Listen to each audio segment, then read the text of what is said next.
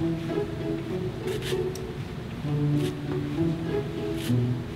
The state of cell science today is that it's in a really great place to integrate many different disciplines. A good friend of mine and I were talking recently, and he said something that I'm sure he got from someone else or everyone quotes as well, but you know, the cell does not care about disciplines. The cell does not care about whether somebody has been trained in chemistry or physics or biology. The cell just does what it does to exist, to function. And cell biology, cell science in general, I think now is, is in a place where we as scientists recognize that and want to take advantage of that and therefore integrate each other and our disciplines to just study the cell and not to study the cell only through the eyes of whichever discipline we happen to have training in.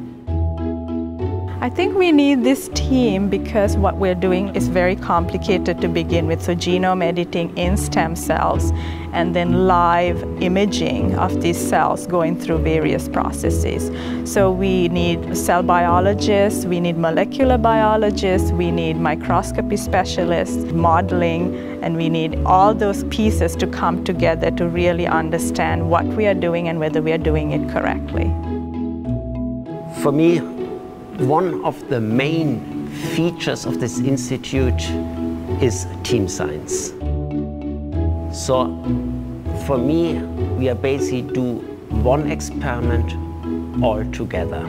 That means we are working together, we're sitting together, we have to discuss everything. I cannot do a single experiment if Ru doesn't provide me good cells and my results are meaningless if the data cannot be used by Graham in the animated cell.